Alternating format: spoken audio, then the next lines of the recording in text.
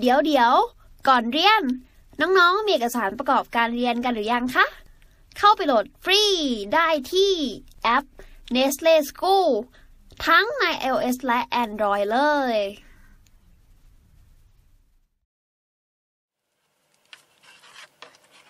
ต่อมานะครับ ข้อ 29 Paul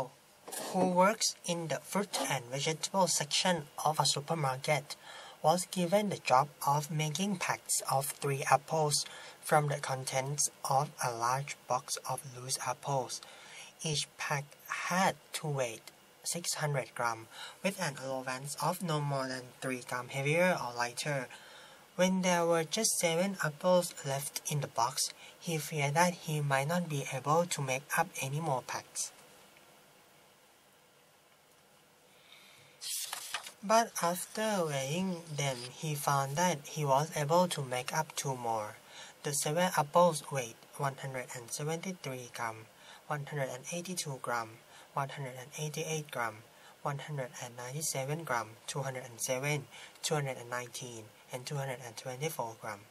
What was the weight of the apple that was left over?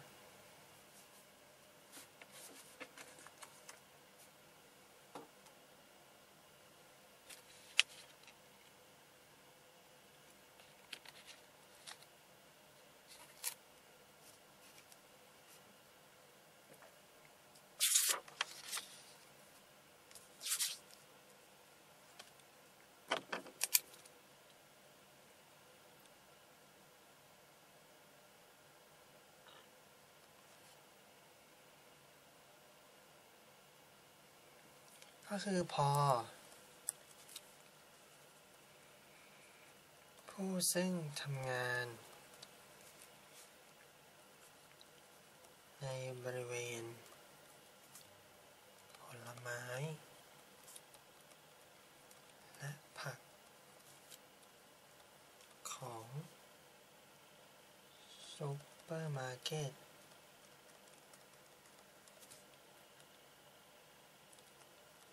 ได้รับ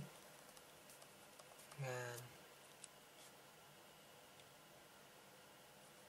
ให้ทำแพ็คของแอปเปิลสามลูก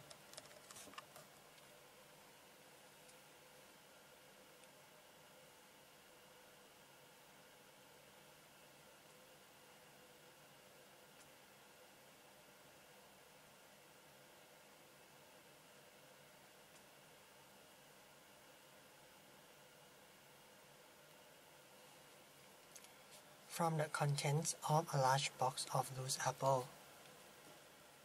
จาก ของในกล่องแอปเปิลขนาดใหญ่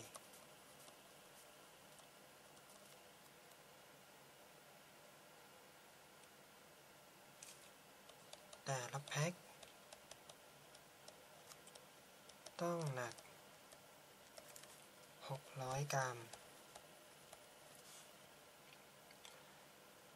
with an allowance of no more than 3 gram heavier or lighter โดย อนุญาต ให้เบากว่าได้ ไม่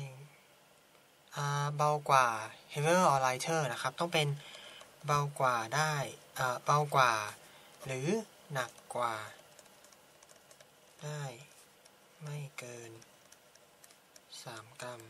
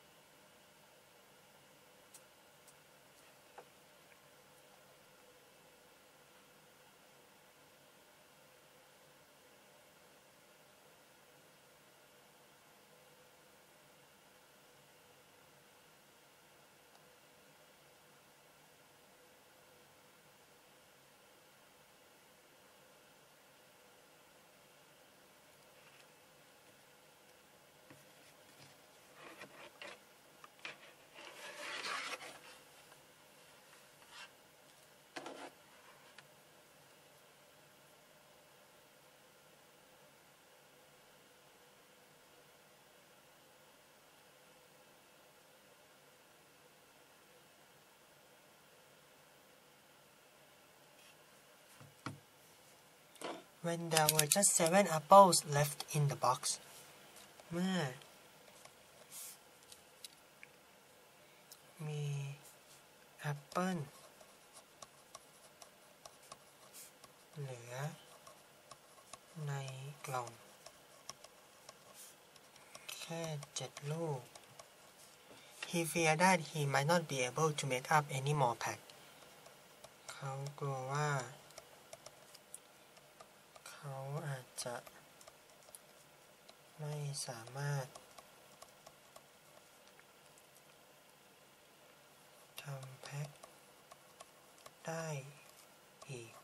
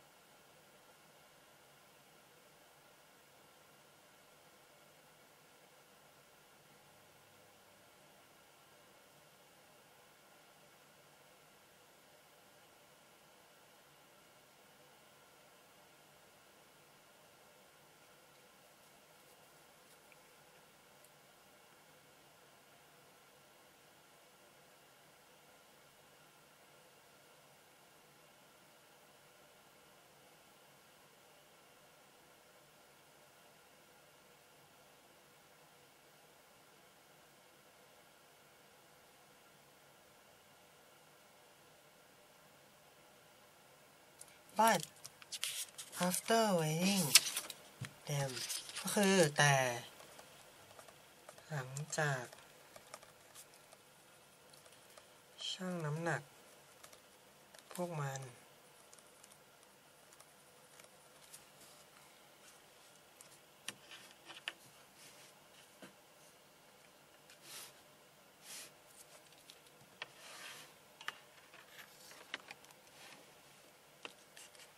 เขา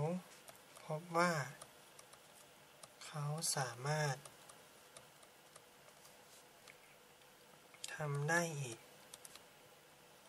สองอัน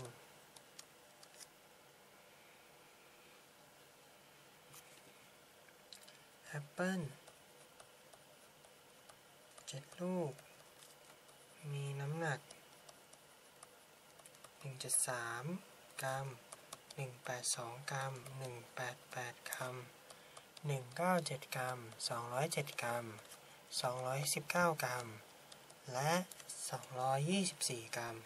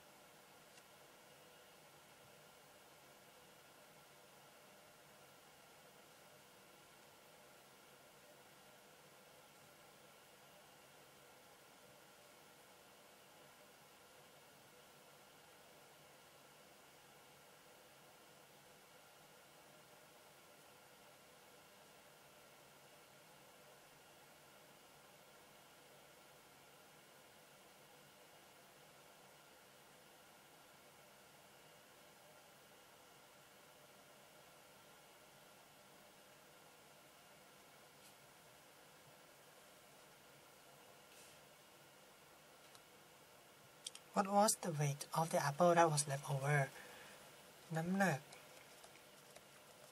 ของแอปเปิลที่เหลืออยู่ เป็นเท่าใด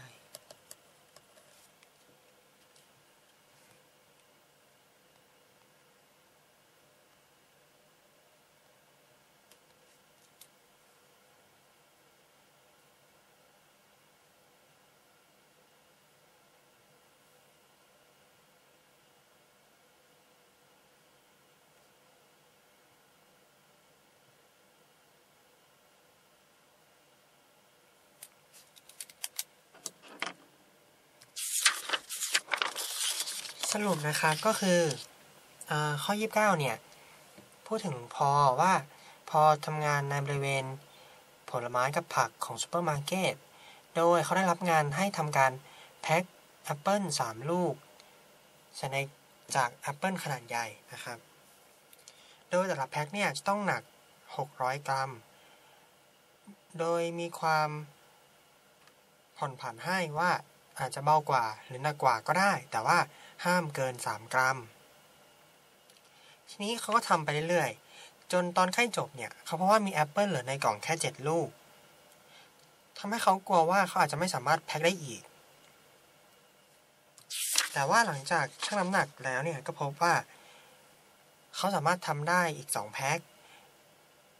โดยแอปเปิล7ลูกที่เหลืออยู่เนี่ย มีน้ำหนัก 173 182 188 197 207 219 แล้วก็ 224เขาจะทราบว่า คือมันมี 7 ลูกใช่ไหมครับ แพ็ค 3 ลูกจำนวน 2 แพ็คก็ต้องเหลือแอปเปิล1ลูก เขาอยากจะทราบว่าไอ้แอปเปิล1ลูกที่เหลืออยู่อะน้ำหนักเท่าไหร่นะครับ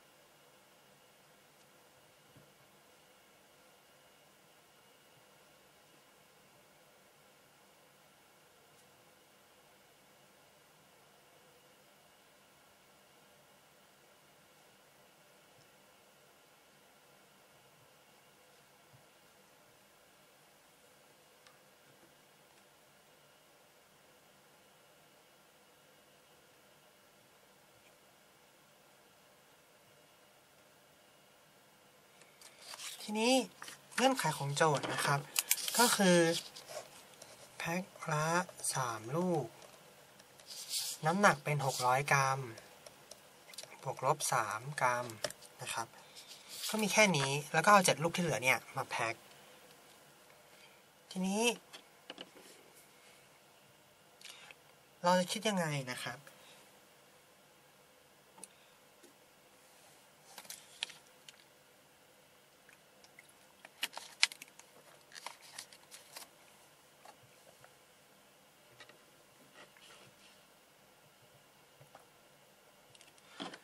เราก็มาดูแอปเปิลก่อนแอปเปิลลูกที่เหลืออยู่ตอนนี้มี 173 182 188 197 207 219 แล้วก็ 224 ใช่ไหมครับ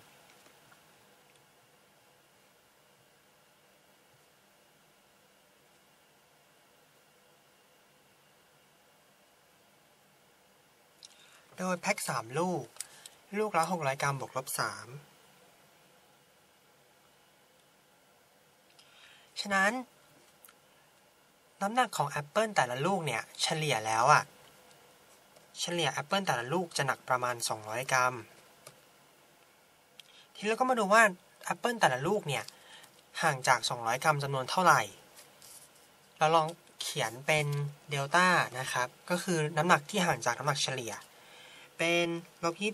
27นะครับ ก็คือ2 2 173ลบ200 แล้วก็ 182ลบ200เป็นลบ18 188ลบ200เป็นลบ12 197ลบ200เป็นลบ3 207ลบ200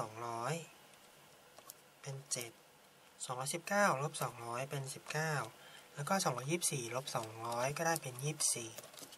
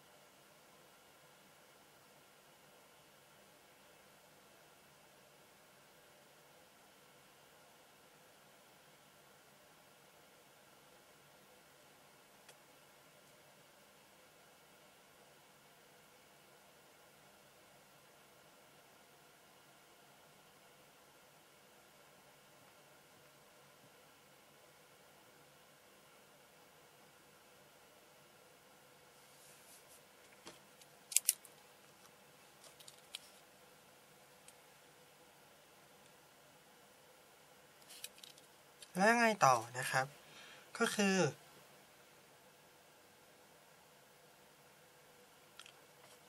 อันนี้เนื่องจากว่ามันเป็นส่วนต่างจาก 200 แล้วรวมแล้วครับเป็น 600 ฉะนั้นเราก็ต้องจับคู่ให้แบบมันรวมกันแล้วอะไม่เกินบวกลบ 3 ก็คืออย่างเช่นแบบเราจัด 24ลบ3แล้วก็ลบ18ไปด้วยกัน แบบเนี้ยอันเนี้ยรวมแล้วมันจะได้เป็นบวกสามใช่ไหมครับ ก็คือ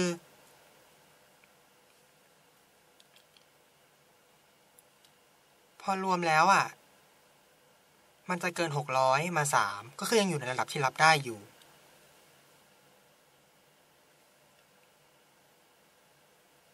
เช่นเดียวกันนะครับเนื่องจากว่าเราต้องการสองแพ็ค อันนี้เราได้ไปแล้วแพ็คแพ็คหนึ่งยี่สี่ลบสามลบสิบแปด ถามว่ารู้ได้ยังไงว่าต้องเอาเป็น 24ลบ3ลบ18 นะครับ ก็คือจุดประสงค์ของเราอะ คือการหาเลข 3 ตัวที่รวมกันแล้วได้ไม่เกินบวกลบ 3 ทีนี้เรามี 24 24 ก็ควรจะคู่กับอะไรที่เป็นลบเหมือนกันใช่ไหมครับ เพื่อจะให้บาลานะควรจะลบ 2 หลักเหมือนกัน ทีนี้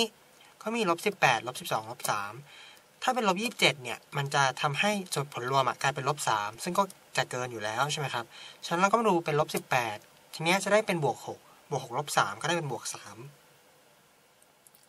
ทีนี้แค่อ่ายี่สี่ไปแล้วเนี่ยนี่ก็จะเห็นว่าจะมีเจ็ดสิบเก้าใช่ไหมครับนี่เป็นยี่หกยี่หกกับลบยี่สิบเจ็ดก็ต่างกันเป็นลบหนึ่งพอดี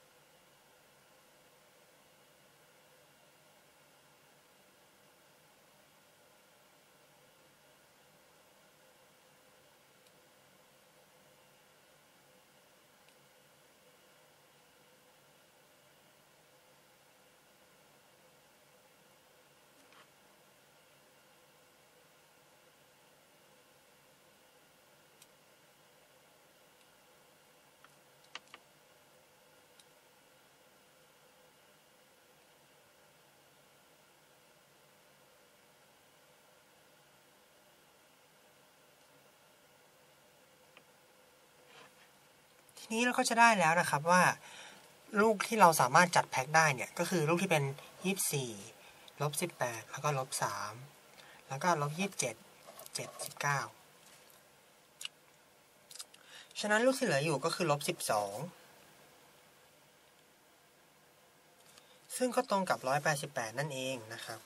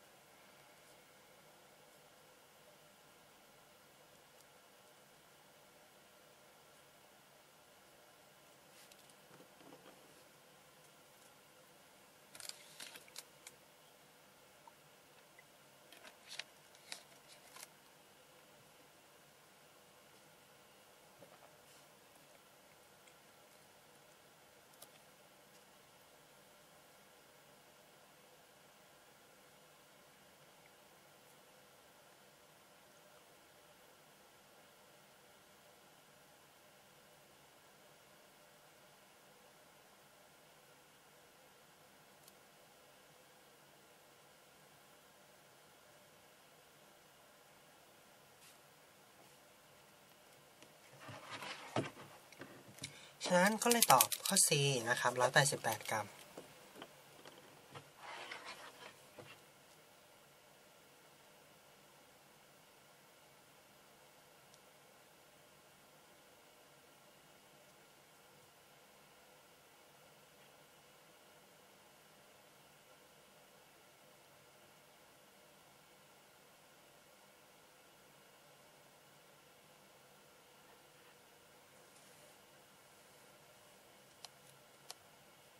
สรุปข้อนี้อีกรอบหนึ่งนะครับก็คือ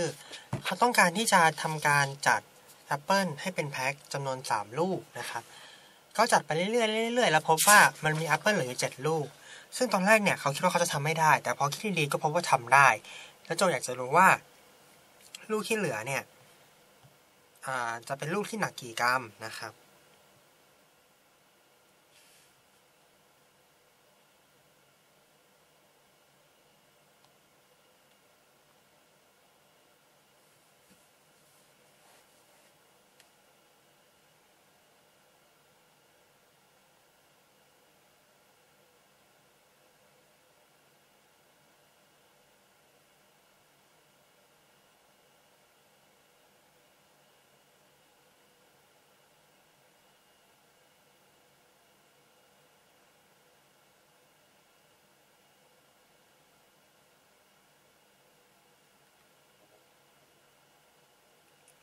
เราก็ list ตัวเงื่อนไขทั้งหมดของมันนะครับ ก็เพราะว่ามันมีแพ็คละสามลูก600กรัมบวกลบสามแล้วก็อันนี้คือที่เขาให้มานะครับ ทีนี้เพื่อจะคิดง่ายๆเนี่ยคือจริง ๆ เราจะมองระบวกหมดเลยอะ่ะค่อยๆมองเป็นก้อนๆไปอะก็ได้ แต่ว่าทำแบบนั้นเนี่ยจะค่อนข้างยากกว่านิดนึง เราก็เลยทำเป็นค่าเฉลี่ยนะคะว่าเฉลี่ยแล้วเนี่ยลูกบอลเออไม่ใช่ลูกบอลแอปเปิลแต่ละลูกเนี่ยจะต้องหนักประมาณ 200 กรัม ทีนี้ แล้วก็ดูว่าลูกบอลแต่ลูกบอลอีกแล้วแอปเปิลแต่ละลูกอะมันต่างจากตัว x bar ของเราเท่าไหร่นะครับ ก็จะต่างเป็นลบ27ลบ18ลบ12ลบ3 7 19 แล้วก็ 24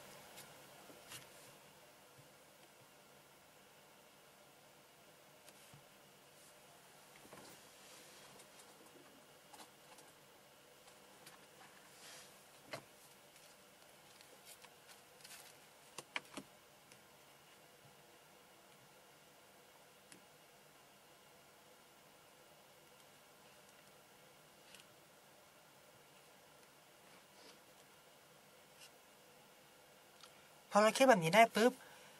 คือไอ้พวกตัวเลขเหล่านี้คือความห่างจาก 200 ฉะนั้นเราต้องการจัดให้มันเป็น 600 เราก็ควรจะจัดให้มันผลรวมของความต่างอะใกล้ศูนย์ที่สุด หรือว่าถ้าทำเป็นศูนย์ไม่ได้เนี่ยก็คือให้อยู่ในช่วงบวกลบ3เราก็มองดูนะครับ ก็จะเห็นว่าสามารถจัด 24ลบ3ลบ18 ได้ แล้วก็ลบ27 79 ได้ แล้วก็ถ้าถามว่าเรารู้ได้ยังไงว่าต้องเป็นตัวเลขเหล่านี้นะครับ ก็คือเป็นเรื่องของเซนส์ก็คือว่าเราเห็นมันมี 24 ใช่ไหมครับ 24 ก็ควรจะคู่กับลบอะไรสักอย่างที่มีค่าลบพอๆกัน ทีนี้ลบมากสุดอะเป็นลบ 27 แต่ถ้ามันลบ 27 แล้วอะตัวเดลต้าเนี่ยมันจะกลายเป็นลบสามซึ่ง จะจะทำให้ balance อะฝั่งบวกอะมันไม่มีอะไรที่แบบบวกแล้วมันไอ้นี้ได้เราก็เลยลองมาดูที่ลบสิบแปดตรงนี้ปุ๊บเป็นลบหกแล้วก็พบว่าลบหกเนี่ยพอมีลบเอ้ยอันนี้บวกหกแล้วก็มีสามกลายเป็นบวกสามก็จะได้พอดีนะครับ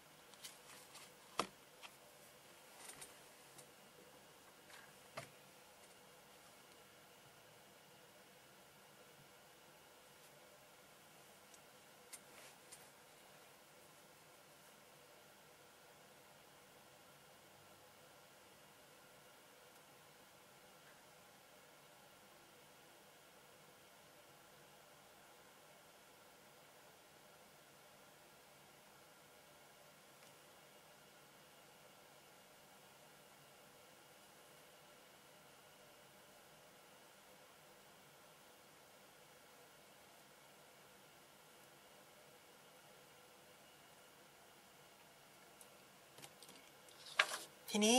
เราก็ดูนะครับก็จะพบว่า อันที่เหลืออยู่เนี่ยคืออันที่เป็นลบ 12 ซึ่งลบ 12 เนี่ยได้มาจาก 188 เพราะฉะนั้น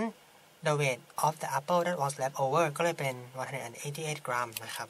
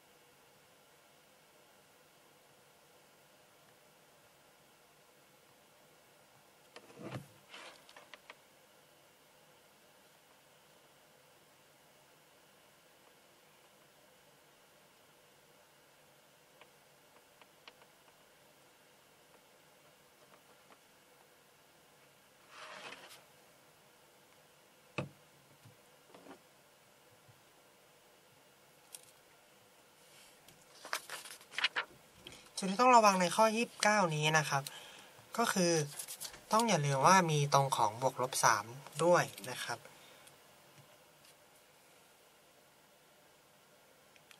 แล้วก็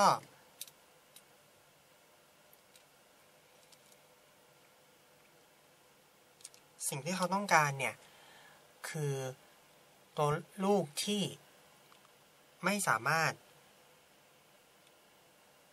ไม่สามารถแพ็คได้นะครับ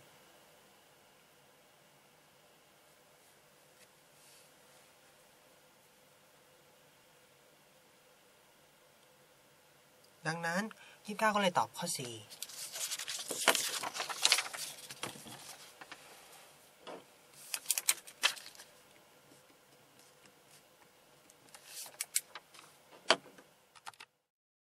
เรียนจบแล้ว อย่าลืม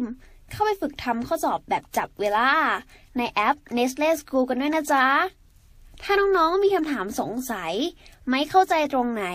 ถามว่าในแอปได้เลย แล้วพี่ๆจะรีบเข้าไปตอบให้นะคะ ขอแวะไปดูคลิปความรู้ก่อนนะคะอ๋อลืมเอาไปค่ะ